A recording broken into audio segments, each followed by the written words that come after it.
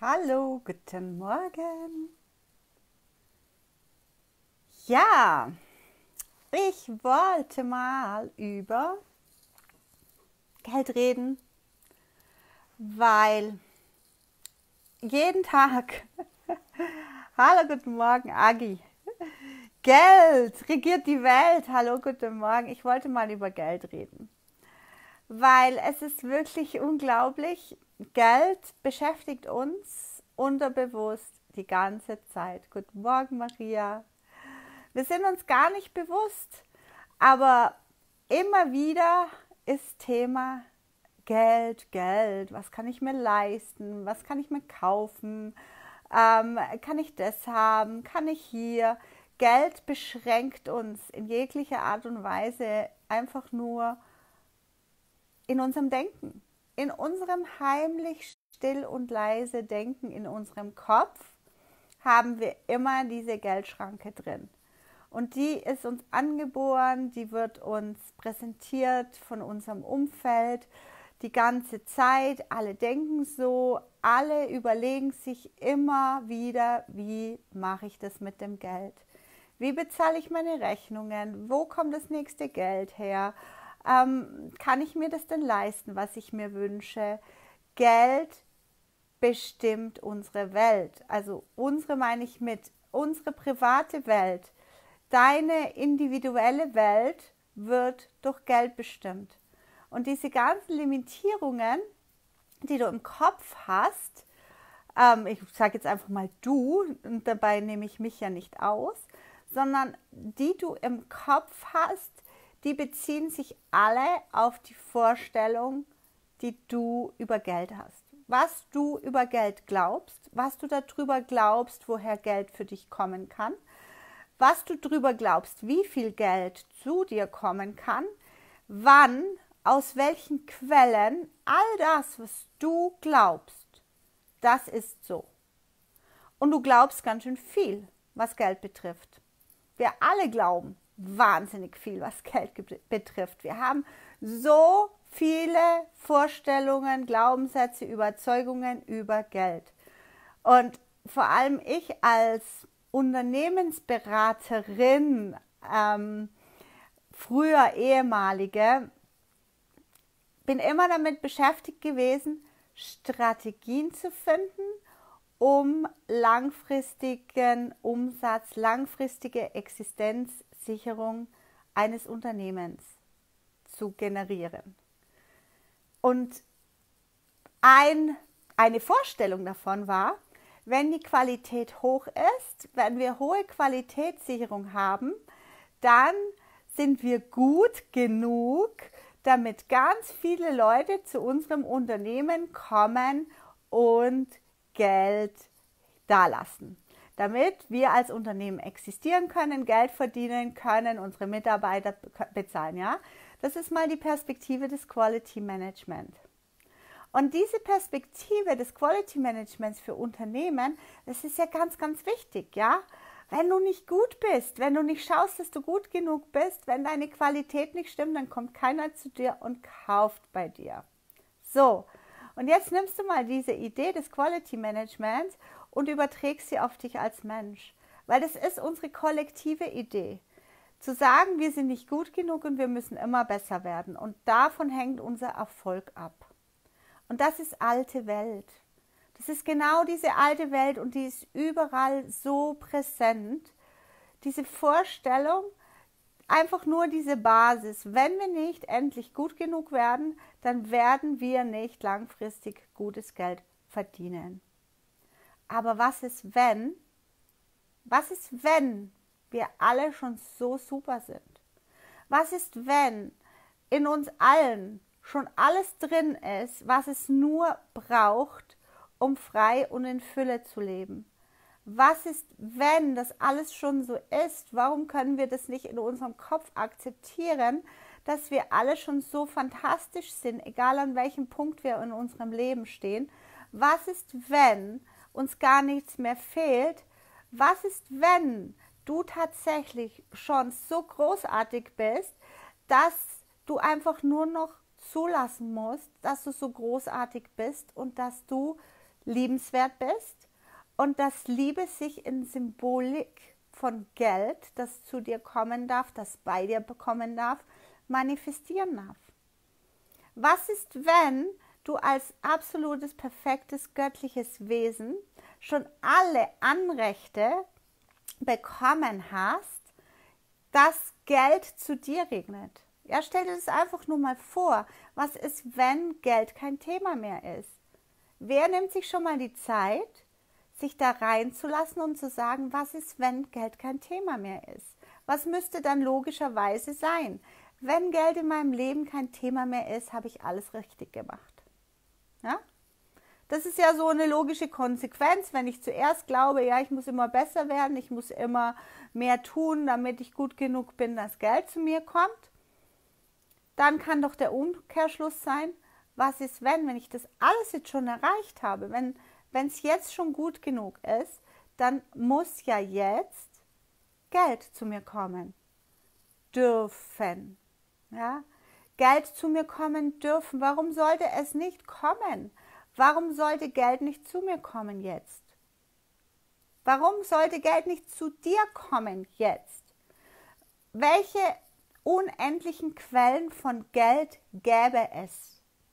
Und wie viele von diesen unendlichen Quellen, wo Geld zu dir kommen könnte, als Symbol, dass du perfekt bist, dass du großartig bist, welche Quellen kannst du dir vorstellen?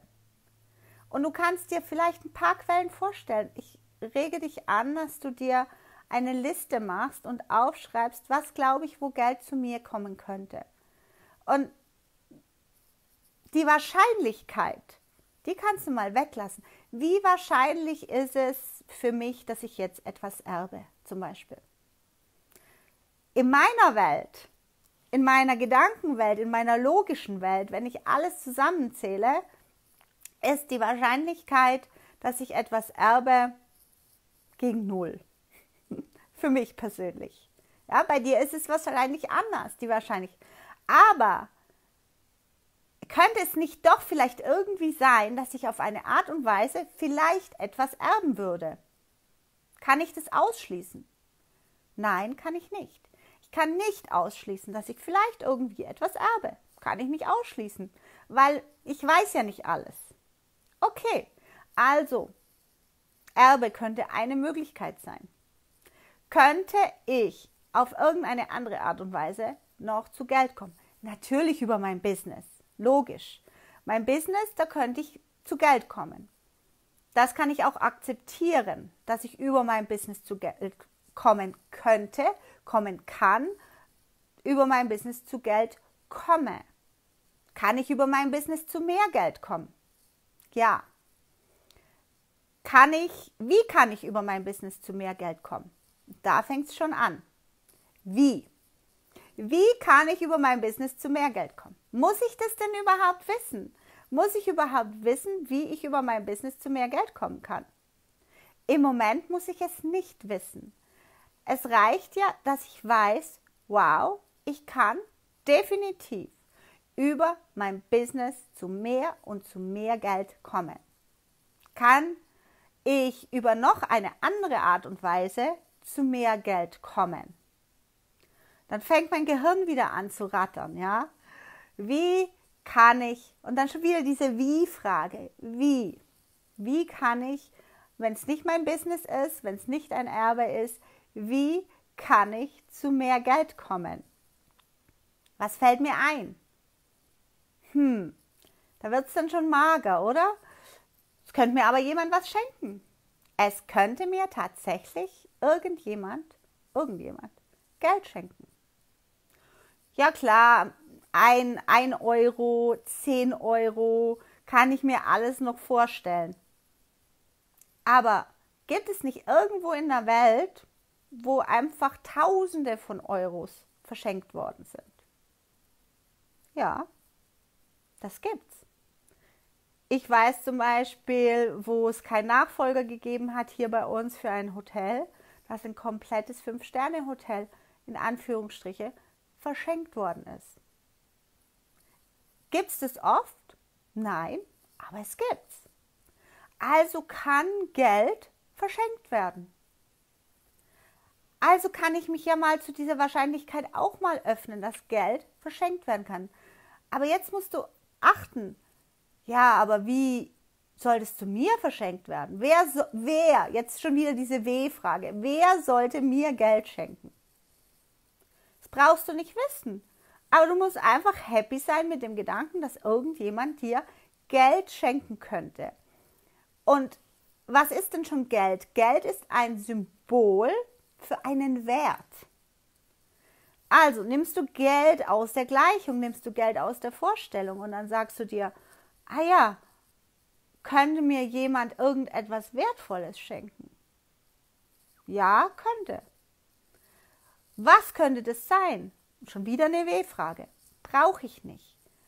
Aber dass du einfach mal deinen Horizont erweiterst und einfach mal erkennst, wo bist du denn beschränkt? Wo bist du unterbewusst die ganze Zeit beschränkt, wenn es darum geht, wie Wert, wie Geld in dem Sinne, wo du quasi Wert empfängst und auch wieder Wert, Wertschätzung weitergeben kannst. Wo, wo bist du da eingeschränkt?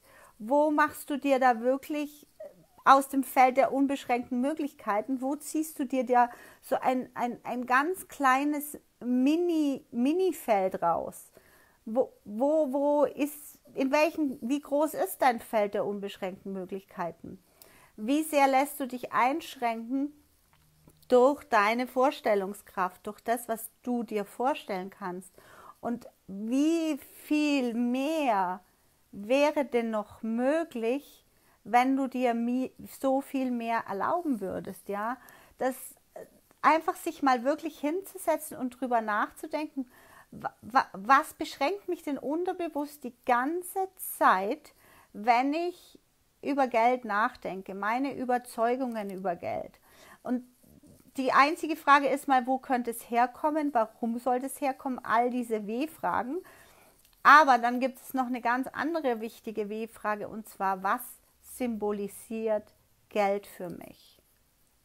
Und dann, wenn du das rausgefunden hast, was Geld für dich symbolisiert, dann merkst du vielleicht auch, dass du ein Problem hast mit diesem Symbol. Ja, dass du, dass Geld für dich wirklich Dinge symbolisiert, mit denen du nicht einhergehst, wo du sagst, nö, das will ich nicht. Und dann eben unterbewusst diese ganze, dieses ganze Symbol Geld ablehnst in deinem Leben. Und das ist der Hauptgrund für die meisten Menschen, warum sie kein Geld haben, weil sie ein Problem mit Geld haben. Weil sie eine Vorstellung von Geld haben, das ihnen nicht erlaubt, eine liebevolle Beziehung mit Geld einzugehen. Und die erste schlimmste Vorstellung ist, ich nehme Geld von anderen weg. Ja? Und diese Vorstellung, die ist eine der tödlichsten Vorstellungen, die dir nicht erlauben, Geld zu empfangen. Für was auch immer du Geld empfangen würdest. Ich meine, du, eigentlich brauchst du gar keinen Grund. Du kannst Geld einfach nur empfangen, weil du ein Geldempfänger bist. Du kannst Geld empfangen, weil du sagst, man möchte mir immer Geld geben. Ich bin jemand, dem man gerne Geld geben möchte. So, und wenn du jemand bist, der, dem man gerne Geld geben möchte, wie ist es dann, wenn du sagst, naja, aber gleichzeitig nehme ich dann den anderen Geld weg? Wenn du diesen Grundsatz trotzdem noch drin hast, zwar jemand bist, dem man gerne, hallo Annette, zwar jemand Geld geben möchte, aber gleichzeitig sagst, uh, dich nehme jemand anders das Geld weg, dann hast du schon quasi eine Null, eine Nullgleichung gemacht. Ja, einerseits möchtest du mit dem Glaubenssatz, ja, ich bin jemand, dem man Geld geben möchte. Vielleicht hast du das auch verinnerlicht in dir. Und gleichzeitig hast du aber trotzdem den Glaubenssatz, ja, aber irgendjemand muss sich ja das Geld wegnehmen. Und dann geht es schon nicht auf, ja. Dann würdest du zwar hättest du zwar die Empfangsbereitschaft, Geld anzunehmen, aber gleichzeitig äh, hast du den Kanal von anderen Menschen hast du zugemacht, weil du möchtest ja niemanden sein Geld wegnehmen. Das ist eine ganz, ganz verflixte Sache mit diesem Geld. Wie viel Geld darf ich verlangen? Kenne diese Frage. Wie viel Geld darf ich verlangen? Das fragst du dich selber. Und der andere fragt dich, wie viel Geld nimmst du für deinen Dienst? Wie viel Geld nimmst du? Das ist nämlich eine ganz krasse Frage. Wie hoch ist dein Preis? Aber dreh mal die Frage um und frage dich, wie viel Geld nimmst du? Dann siehst du nämlich schon mal bei dieser Frage, dass du entscheidest, wie viel Geld du nimmst. Und zwar, wie viel Geld nimmst du von jemand anderen weg? Und wenn du das glaubst, dass du von jemand anderen Geld wegnimmst oder dass du jemand anderen irgendwo dazu zwingst, etwas herzugeben, was er nicht hergeben will, dann bist du schon wieder eingeschränkt. Hallo Elisabeth. Und das, wie wäre es denn, wenn du sagst, wie viel Geld empfängst du? Wie viel Geld empfängst du? Und was wäre, wenn es überhaupt nicht darum geht, ein Preis-Leistungsverhältnis herzustellen, sondern was wäre, wenn es darum geht, ein Preis-Energie-Verhältnis herzustellen? Ein Preis-Energie-Verhältnis. Preis ist Geld, also ein Energie-Geld-Verhältnis herzustellen. Wie geht das? Ein Energie-Geld-Verhältnis herzustellen. Du bist Energie, das, was du anbietest, das, wofür du Geld jetzt im Moment empfangen möchtest, das steht im Verhältnis zu der Geldenergie. Wie ist denn das? Geld-Energie-Verhältnis. Hallo Annette, danke. Überleg dir das mal. Was auch immer du anbietest, ja, ich sehe jetzt gerade ein paar, ich weiß, manche bieten Coachings an, manche bieten Kunstwerke an, manche bieten äh, sonstige Dienstleistungen an. Aber wie viel Energie gibst du mit dem, was du anbietest? Und das macht den feinen, kleinen Unterschied. Schau mal zum Beispiel ein Kunstwerk. Ich nehme jetzt einfach mal ein Bild. Ein Bild. Das ist einfach ein Bild auf, einem, auf einer Leinwand. Und da ist Energie drin. Deine Energie. Und dabei geht es nicht darum, wie lange du deine Energie da rein fokussiert hast, wie lange du an diesem Bild gemalt hast, sondern da geht es darum, wirklich welche Qualität von Energie in diesem Bild ist, das du malst. Oder nimm einen, einen Musiker, ja? Es, warum gibt es so viele unterschiedliche Musiker? Die, ein, sind alles gute Musiker, aber der Unterschied ist doch wirklich, wie bewusst der Musiker, der Künstler oder sonst der Anbieter sich über die Energie ist, die er weitergibt. Das ist doch geil, oder? Die Energie.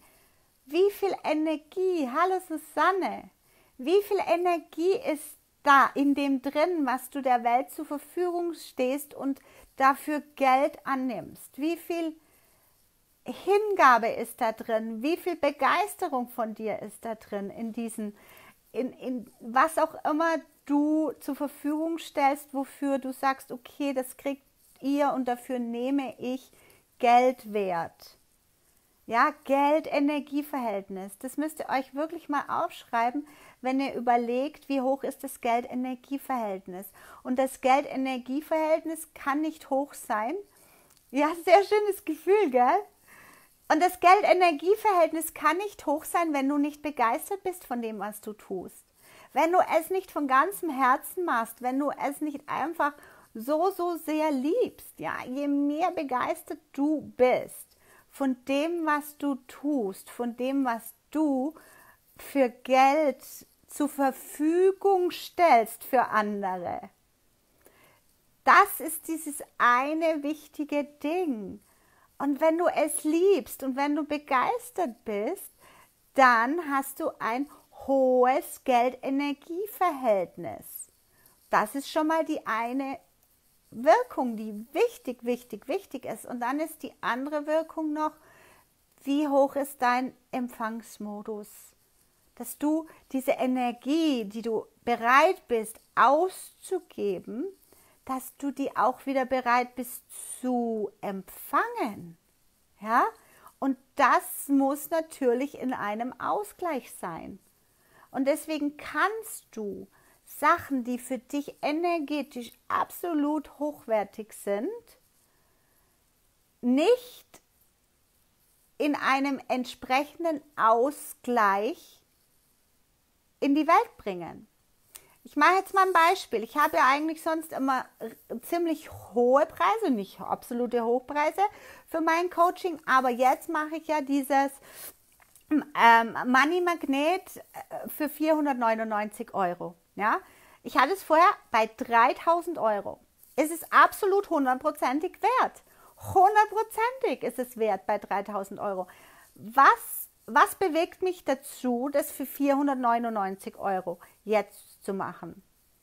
Und zwar der Impuls, einfach zu sagen, okay, wenn ich jetzt weniger Geld nehme für dieses Programm, das eigentlich 300 Euro wert ist, damit aber durch diese Energie, durch meine Energie, zwar nicht so viel Cash erzeuge in diesem Moment, erzeuge ich dennoch für mich als Gegenwert von mehr, mehr, mehr, mehr Menschen die gleiche Energie letztendlich. Ja? Letztendlich stimmt das Verhältnis nachher halt doch, weil ich aus mehr Menschen nachher die entsprechende Energie zurückbekomme. Ja?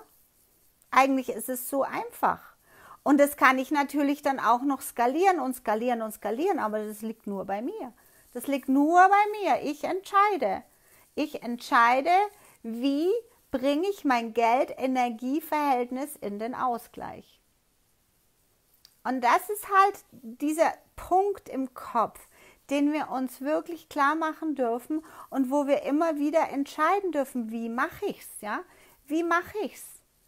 Und diese Vorstellung, danke Annette, diese Vorstellung einfach, ich muss immer gleich machen, das, das ist auch wieder eine falsche Vorstellung hier in unserem Leben. Ja, kann es ja nicht verändern. Ich habe es ja vorher für 300 gegeben, jetzt kann ich es doch nicht für, äh, für 3000 gegeben, jetzt kann ich es doch nicht für 499 geben. Warum nicht? Ja, aber wird es dann schlechter? Muss es nicht schlechter werden? Aber ihr spürt es. Und ihr spürt immer die Energie des Gegenübers, ihr spürt immer die Energie und die sagt euch dann, ja, diesen Preis will ich dafür bezahlen, in diesem Moment ist es für mich richtig. Und das ist das Ausschlaggebende. Du entscheidest, wie du es haben willst. Und du darfst es heute so haben und morgen so haben wollen. Das darfst du. Es ist nämlich nur deine Energie, die entscheidet, wie viel Geld du bereit bist zu empfangen. Und niemand sagt dir, ja, du darfst es nur von zwei Leuten empfangen oder von 200 Leuten oder von 2000 Leuten. Das entscheidest auch wiederum du. Also einerseits das Empfangen und andererseits natürlich die Balance des Gebens. Und das ist so ein ganz anderes Denken wie Preis-Leistungs-Verhältnis, ja? Wie, wie, viel, wie viel ist jetzt ein Kaffee wert, ja? Preis-Leistungs-Verhältnis für einen Kaffee. Sag's euch, bei uns gibt's Orte, da kaufst du einen Kaffee für 5 Euro. Ja? 5 Euro für einen Kaffee. Warum kostet der Kaffee an einem Ort 5 Euro und in einer Bar in Italien irgendwo noch 80 Cent, der gleiche Kaffee. Was ist der Unterschied dahinter? Da sind natürlich ganz viele ähm, Kostenberechnungen dahinter, aber letztendlich, genau, letztendlich, was bewegt dich dafür, dazu einen Kaffee für 5 Euro zu kaufen, wenn du woanders ihn für 80 Cent kaufen könntest. Es ist die Energie. Es ist nur die Energie. Und das dürfen wir lernen. Das dürfen wir wirklich lernen. Es ist die Energie und die Energie entsteht wie? Die Energie entsteht dadurch, was ich mir vorstelle. Es ist immer, was ich mir vorstelle.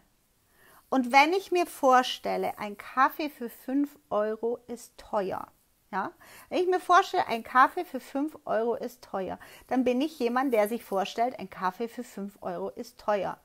Aber wenn ich mir vorstelle, ein Kaffee kostet halt das, was er kostet und es ist mir wurscht, weil ich nehme den Kaffee dann und dort, wann ich ihn halt haben will und mache mir nicht mal Gedanken darüber, wann wie viel dieser Kaffee kostet, dann bin ich jemand, der frei ist vom Kaffeepreis. Ich entscheide einfach, der Kaffee gefällt mir hier und jetzt und jetzt will ich ihn haben. Genau. Und dann ist der gut, der Kaffee. Dann freue ich mich darüber. Und bei allen anderen Dingen im Leben sollte es eben auch so sein, weil Geld ist göttlich. Geld ist göttliche Energie. Göttliche Energie ist wie? Ja, da müssen wir uns erst noch mal darauf einschwingen, weil wir kennen ja so die Mangelenergie und die ganze Vorstellungsenergie und diese Paradigmen, die gehören geschiftet. Und vor allem das wichtigste Paradigma, das auch noch geschiftet ist, gehört, dass derjenige, der Geld hat, Macht über mich hat, wo ich kein Geld habe. Ja, das ist übrigens auch ein ganz ätzendes Paradigma, eine ganz ätzende Vorstellung. Ich glaube, ja, die haben Geld, wer auch immer die sind, und die haben Macht über diejenigen, die kein Geld haben. Ist es wirklich so? Danke für die Herzchen, Annette.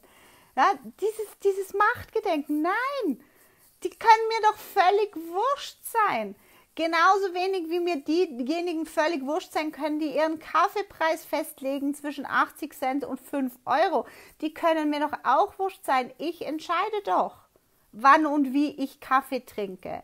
Und genauso entscheide ich alles andere eben auch. Und das muss ich wissen, da muss ich in diese Kraft kommen, da muss ich in meine Power reinkommen und ich muss in meinen Schöpfermodus reingehen. Und ich kann mich nicht mehr irritieren lassen von den Sachen, die mir im Außen geboten werden und mich gerade in diesem Moment vielleicht stören. Weil wenn es mich stört, dann lehne ich es ab. Und wenn ich es ablehne, dann kommt es auf gar keine Art und Weise zu mir. Das ist bei allem so. Wenn du deinen Partner auf irgendeine Art und Weise ablehnst, wenn er dich irgendwie stört, wenn er dich irgendwie nervt, dann wird er nicht nahe zu dir kommen. Dann wird da keine Nähe und keine Harmonie entstehen. Es ist immer so, es ist das Gesetz der Energie. Und du kannst es nicht zulassen, dass dich Dinge ärgern, nerven oder stören, die du eigentlich haben möchtest. Das geht nicht. Und da geht es darum, das Ganze zu bereinigen, das Ganze klar zu kriegen, ein Selbstbild in Bezug auf Geld, sein Selbstbild in Bezug auf Geld in der Welt und so weiter und so fort klar zu kriegen Ja, schöner Paradigma ist auch, die anderen sind nur nett zu mir, weil ich Geld habe, äh, was bei ihnen kaufe. Ja, das ist auch, es ist auch diese Vorstellung, ja. Ich, die mögen mich, weil ich Geld bei ihnen lasse. Aber es ist doch so, ich lasse Geld bei ihnen, weil ich sie mag. das ist doch die Wahrheit, oder? Die Wahrheit ist, ich lasse Geld bei ihnen, weil ich sie mag. Ich lasse Geld bei ihnen, weil ich ihr Angebot mag. Ich lasse Geld bei ihnen, weil ich begeistert bin von dem, was sie haben. Und warum bin ich begeistert von dem, was sie haben? Weil sie wiederum begeistert sind von dem, was sie haben. Ja? Das macht so den einzigen großen Unterschied. Und wenn du begeistert bist von dem, was du hast, dann darfst du es der Welt zeigen, dann darfst du der Welt kundtun, dass du begeistert bist von dem, was du hast. Und das machen die wenigsten, weil da wieder diese ganzen Paradigmen dahinter sind. Was sollen denn die anderen denken? Ja, was sollen denn die anderen von mir denken? Und, und ich kenne das doch alles. Äh, was sollen denn die anderen davon von mir denken, wenn ich plötzlich über göttliches Geld rede? Sie mögen mich, weil wir Energien tauschen. Ähm, sie mögen mich, weil wir Energien tauschen. Weiß ich nicht. Das ist auch wieder so eine Abhängigkeit, oder? Das ist so eine, so eine Bedingung, äh, so eine Bedingung. Sie mögen mich, weil wir Energien tauschen. Nein, sie mögen dich, weil du dich magst. sie mögen dich, weil du jemand bist, der mag. Der sich selber mag, der das Leben mag, ähm, der mag, was er tut und der mag, was er denkt. Bist du jemand, der mag, was er denkt? Das ist auch wieder eine geile Frage. Ha? Wer von euch ist jemand, der mag, was er denkt? Susi, bist du jemand, der mag, was sie denkt? Magst du, was du denkst? Ich mag nicht immer, was ich denke. Aber wenn ich es nicht mag, dann versuche ich es eben anders zu denken. Weil es fühlt sich ja für mich nicht gut an, wenn ich Sachen denke, die ich nicht mag. Tut euch mal kontrollieren, wie oft denkt ihr was, was ihr nicht mögt. Wie oft denkt ihr ablehnendes Zeug? Wie oft denkt ihr verurteilendes Zeug? Wie oft denkt ihr einschränkendes Zeug? Wie oft denkt ihr Sachen, die ihr nicht denkt? Ja, öfter. Ja, klar. Aber es muss keiner was denken, was er nicht mag. was immer DHR? Aber ich weiß jetzt nicht, was du damit meinst. Immer mehr, ja genau. Also immer mehr magst du Sachen, die du denkst. Und wir können doch den ganzen Tag Sachen denken, die wir mögen. Ja? Das ist auch so einfach. Warum denken wir Sachen, die wir nicht mögen? Warum denken wir Sachen, die wir ablehnen? Warum denken wir Sachen, die sich schlecht anfühlen? Warum machen wir das? Weil wir es halt gelernt haben. Aber das Schöne ist ja, was wir gelernt haben, können wir auch wieder umlernen. Und da komme ich jetzt auch zum Schluss gerne. Und zwar das Umlernen, das fällt ja, findet ja im Bewusstsein statt, im bewussten Verstand. Und dieses Bewusstsein, das ist ja auch wichtig, dass wir das lernen, dass wir bewusst sind, was denn überhaupt abläuft, ja. Dass wir eben nicht unterbewusst äh, einfach unser Zeug laufen lassen und gar nicht merken, warum wir uns denn so schlecht fühlen, wie wir uns denn fühlen, sondern dass wir uns tatsächlich bewusst reflektieren die ganze Zeit und dass es aber auch nicht anstrengend ist, sich bewusst zu reflektieren, sondern dass wir ja da ein, ein, ein Messgerät in uns drin haben. Fühlst du dich gut? Denkst du gute Sachen? Fühlst du dich schlecht? Denkst du schlechte Sachen? Fühlst du dich beschissen? Denkst du beschissene Sachen? du merkst es ja gleich, wenn du auf Abwägen bist, ja? Und nimm das doch mal an, dass wenn es dir gerade scheiße geht, dass es damit zu tun hat, was du gerade mit dir machst im Kopf. Gestern Strafzettel bekommen und erst negativ gedacht und dann geswitcht, ist mein Geschenk an die Stadt. Ja, genau. Ist dein Geschenk an die Stadt. Und vor allem, die Stadt, die schenkt dir ja auch was dafür, oder? Die Stadt schenkt dir Aufmerksamkeit. Ja, der Polizist war jetzt richtig schön aufmerksam auf dich. Die Stadt äh, schenkt dir ähm, Ordnung sozusagen oder die passen gut auf, bla bla bla. Und dann zum anderen fehlt dir das Geld. Das ist ja auch wieder die Sache, fehlt dir das Geld überhaupt für diesen Strafzettel? Dann dann, oh, jetzt kommt mein Sohn, der hat wieder einen Schlüssel vergessen. Jetzt muss ich aufmachen. Ja, genau. Fehlt dir das Geld für diesen Strafzettel oder ist es einfach nur mal wieder ein Punkt, wo du sagen kannst, hm, was bedeutet dieses Geld eigentlich für mich, wenn ich jetzt diesen der Stadt gebe? Genau, und ich habe übrigens auch schon 120 Euro Strafzettel bezahlt für Parken, äh 120 Franken für Falschparken. Das müsst ihr euch mal reinziehen. Das ist auch ganz schön viel Geld. Und ähm, da musste ich halt auch mein Mindset ein bisschen ändern, sonst würde mich das heute auch noch ärgern. Ja, auf jeden Fall, dieses liebe, liebe Geld. Leute, es ist so wichtig, dass wir daran arbeiten. Es ist so wichtig, dass jeder einzelne von uns, der hier ist, mit Herzen im Leben ist, mit Herzen für andere, mit dem Herzen für Schönheit, für, mit dem Herzen helfen und unterstützen will, dass ihr euch Geld erlaubt und dass ihr euch viel Geld erlaubt.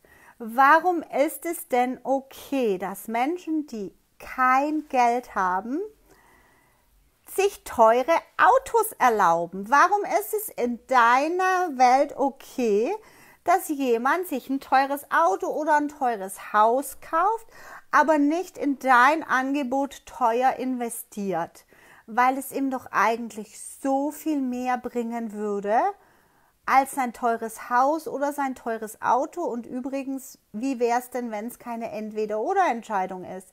Wenn ich alles haben kann, wenn ich das teure Auto haben kann, das teure Haus und dein teures Produkt, weil ich es einfach so liebe, weil du es so liebst, weil ich es unbedingt bei mir haben möchte. Ja? Und darum geht es, zu erkennen, dass ich den Menschen nichts wegnehme. Und immer wieder zu denken, wie viel Geld jemand anders hat und wie viel Geld jemand anders bereit auszugeben ist, für was du auch anmietest.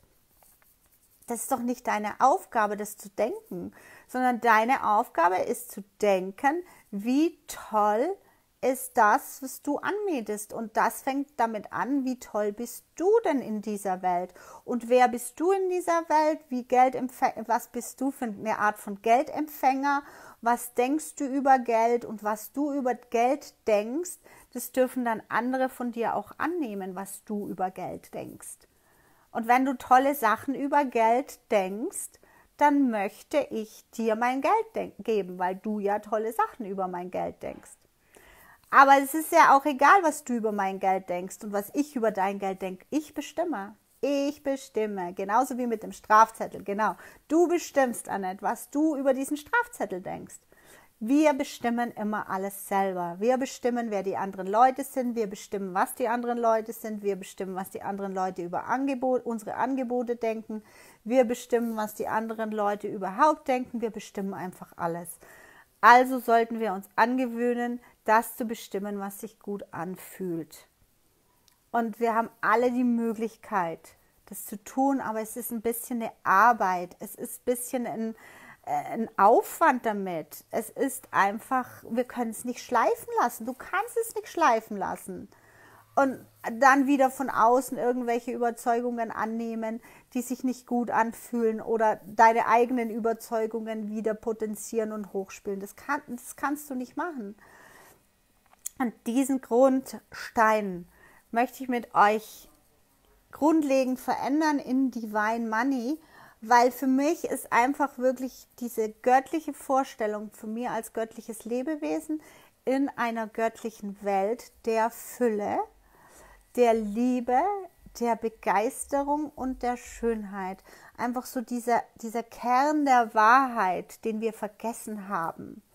Den wir vergessen haben und weil wir es vergessen haben, haben wir uns in eine Welt reinziehen lassen, die nach Regeln funktioniert, die uns gerade ganz deutlich dokumentiert werden, die nichts mit Liebe zu tun haben, die nichts mit Fülle zu tun haben und die schon gleich gar nichts mit Göttlichkeit zu tun haben, sondern nur mit Macht und Unterdrückung. Und nur wenn wir aus dieser Welt der Macht und Unterdrückung aussteigen und wissen, es gibt diese andere Welt, die göttliche Welt der Füllung, der Fülle, können wir da kreieren und mehr und mehr machen. Und das Geld aus dieser Welt der Macht, der Korruption und Manipulation, können wir die aushungern. Wie wäre es, wenn wir die aushungern?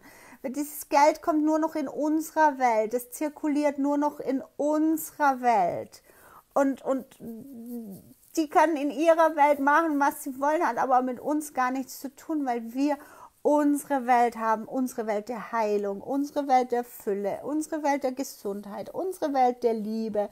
Und, und wir arbeiten nur mit unseresgleichen zusammen, wo die Energie eben stimmt, wo, wo ich mein Geld dorthin gebe, wo, wo hochgradig mit Energie gelebt, geliebt wird. Da gebe ich mein Geld hin, da gebe ich meine Gesundheit in die Hände oder lass mich gesundheitlich unterstützen. Ich hole mir alle mögliche Unterstützung, wo ich brauche, aber nicht dort in der Welt der Macht und der Korruption, wo kein Herz drinne ist. Ja, da muss doch gar keiner hingehen. Wir haben ja so, so viele Alternativen. Und das muss uns bewusst werden. Und wir können einfach sagen, ja, die, diese Welt, die wird aushungern. Wir kreieren diese Welt der Schönheit, diese Welt des Glücks, diese göttliche Welt der Fülle. Und die wird immer, immer größer. Wir müssen uns nur ganz klar und deutlich entscheiden, dass wir in dieser anderen Welt gar nichts mehr zu suchen haben. Wir müssen da auch gar nicht mehr uns hinbegeben in Ablehnung, Hass oder was auch immer, sondern wir gehen in diese Welt mit den Menschen, die es schon verstanden haben, wie eben ein Energieverhältnis aussieht und wie man energetisch lebt, arbeitet, denkt, fühlt und handelt hochenergetisch. Ja, Danke, Annette. Danke für dein Sein auch. Ja, und, und da, da will ich, will ich einfach äh, Anregungen machen, dass wir uns diese Perspektiven aufsetzen und einfach sagen, ja, wie will ich es haben? Was brauche ich? Wo sind die richtigen Menschen, mit denen ich das machen möchte? Und dann werden wir alle blühen. Wir werden alle blühen, wenn wir uns das erlauben, weil wir uns eine Welt, des, wo die Menschen einfach blühen, erblühen und einfach schon genug und perfekt sind, erlauben. Und das ist alles, was ich eigentlich für mein Wohlergehen tue, ähm, dass ich einfach sage, immer mehr und mehr und immer, immer tiefer, in was für einer Welt will ich leben, mit welchen Menschen will ich mich umgeben. Nicht das andere ablehnen oder was weiß ich nicht, was verteufeln oder versuchen, das andere zu verändern das darf ja von mir aus sein. Aber es bestimmt nicht mein Wert, es bestimmt nicht meine Fülle. Danke, Susi. Es bestimmt nicht meine Fülle. Es be äh, bestimmt auch nicht, äh, wie viel Geld ich habe, wie viel Geld ich verdiene, wie viel Geld ich in diese Welt bringe. Und glaub mir, es ist ja so viel Geld in dieser Welt. Also ich will jetzt da nicht groß rausschreien, aber wenn du nur hinguckst, wo du Geldverschwendung hoch 2000 einfach siehst, wo Geld ausgegeben wird für Sachen, die kein Mensch wirklich braucht. Ich nenne hier keine Namen, aber da wird so, da ist so viel Geld, Leute. Holen wir uns das holen wir das in die göttliche Welt, dieses Geld. Da ist so viel, es ist kein Mangel, es herrscht kein Mangel, das ist fake. Mangel ist eine Lüge, Mangel ist etwas, was uns vorgegaukelt wird. Es gibt keinen Mangel an Geld, es gibt es nicht. Es gibt einfach nur diese mangelhaften Vorstellungen, die mangelhaften Energien in uns, diese unterdrückten Energien, diese beschränkten Energien, die uns davon abhalten. Aber dass Geld Mangelware ist, dass Geld äh, nur, dass du Geld nur bekommen kannst, wenn du dich verkaufst, deine Zeit, deine Stunden, dein Glauben, sogar noch ja an das, was du glaubst, was an deine Wertvorstellungen, wenn du das alles glaubst, opfern zu müssen für das bisschen Geld, was du kriegst. Nee, das ist nicht so, es ist nicht so und es macht so weh, wenn du das glaubst. Und wenn es weh macht, dann kann es nicht die Wahrheit sein. Also bitte glaube das nicht mehr. Glaubt es einfach nicht mehr, weil es nicht stimmt. Es stimmt einfach nicht. Ich habe es lange genug geglaubt auch. Und es hat lange genug wehgetan, diese Vorstellung. Und es ist so mühsam und so schmerzhaft, Lügen aufzusitzen. Lügen über sich selber, Lügen über die Mangelhaftigkeit, die Beschränktheit, die Lieblosigkeit der Welt. Diesen Lügen aufzusitzen und in diese Realität reinzugehen, das tut weh und es muss niemand machen, wirklich niemand, niemand, niemand. Wir können in dieser Welt leben, ohne dass wir in den Schattenseiten dieser Welt in die verstrickt sein müssen. Und wenn wir das schaffen, dann werden wir mehr und mehr Licht generieren, mehr und mehr Göttlichkeit generieren, mehr und mehr Liebe generieren, mehr und mehr Schönheit und Freude generieren. Aber wir können nicht mit den Regeln des Mangels und der Ausbeutung und der Macht eine Lichtwelt kreieren. Wir brauchen neue Regeln. Wir müssen grundsätzlich nach diesen Regeln, nach diesem Wissen leben. Genau, also liebe Annette und alle, die hier noch hier sind, bitte nehmt euch diese Zeit, wenn ihr nicht ins Programm kommt, dann macht bitte selber die Arbeit.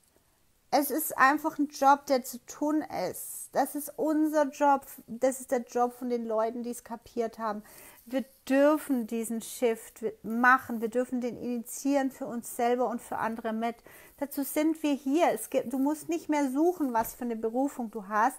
Du hast diese Berufung, diese Welt wieder ins Licht, in die Göttlichkeit, in die Liebe mitzubringen. Das ist deine Berufung. Und wie du das machst, das kannst du machen, so wie du Spaß hast. Aber Hauptsache du machst. Also, ich wünsche euch noch einen wunderschönen Samstag. Bis dann. Tschüssi.